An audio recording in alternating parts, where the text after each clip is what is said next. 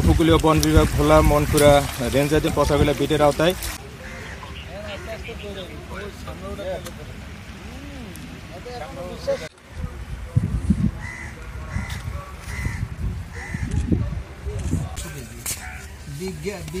হুম, ছেড়ে দেন।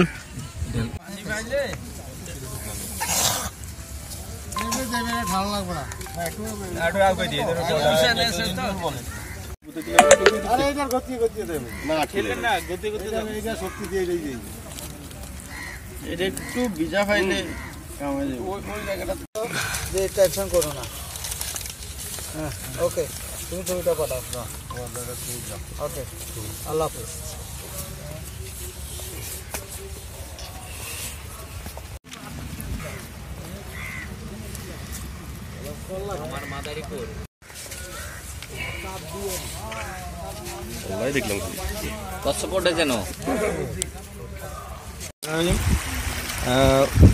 উপকূলীয় বন বিভাগ ভোলা মনপুরা রেঞ্জাদিন পচাগুলা বিটের আওতায় আহ, চর পাতালিয়া সংলগ্ন এখন চলে যাচ্ছে।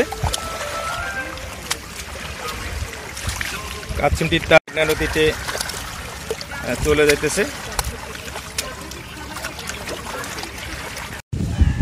আসসালামু আলাইকুম। উপকূলীয় বন বিভাগ, ভোলা জেলা, মনপুরা, রেঞ্জাদিন, পচাক্রয়লা বিটের আওতায়।